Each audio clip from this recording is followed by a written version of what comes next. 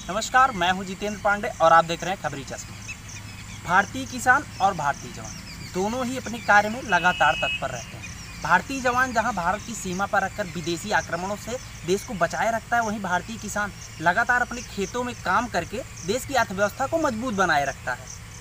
लेकिन सरकार के द्वारा किए जा रहे दावे क्या किसान तक पहुँच रहे हैं?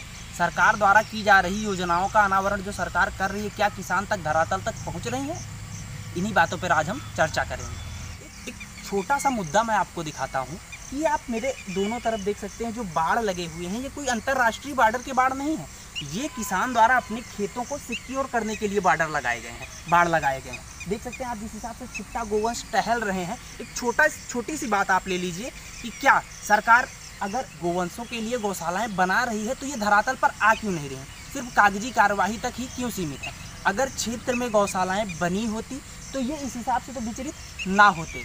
और किसान अपने खेतों को सिक्योर करके जिस हिसाब से बाढ़ लगा रहा है, ये देख सकते हैं आप कितने कटीले बाढ़ है।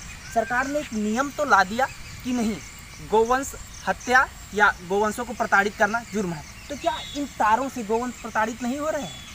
उन बेजुबानों का दुख कौन समझेगा, जिन्हें इन तारों से चोट लगती है? अब तक तो किसान बाढ़ और सूखे से प्रभावित होता था, जिसके एवज में उन्हें मुआवजा भी मिल जाता था। पर क्या गोवंशों द्वारा बर्बाद की गई फ़सल का उनको कोई मुआवजा नहीं मिलना चाहिए? या सरकार को कोई ग्रामीण स्तर पर एक ऐसी योजना निकालनी चाहिए कि हर ग्राम में एक गौशाला बनाकर प्रधान द्वारा छुट्टे गोवंशों को चिन्हित करके उन्हें उन गौशाला में ले जाया जाए? आखिर किसान कब तक इन गोवंशों से परेशान रहेगा और अपने फ़सल की बर्बादी अपनी आँखों से ही देखता रहेगा? किसान चाहे जो भी प्रबंध कर ले, गोवंश खेत तक पहुँच ही जाते हैं। इस प्रकार तमाम ऐसी बहुत योजनाएँ हैं जो ग्रामीण अंचल तक नहीं पहुँच पाती। सरकार को किसानों पर भी ध्यान देना चाहिए। क्योंकि खाएगा किसान, तभी बढ़ेगा किसान, और किसान बढ़ेगा, तभी देश बढ़ेगा। ऐसी ही तमाम खबरों के लिए देखते रहिए खबरी चश्मा।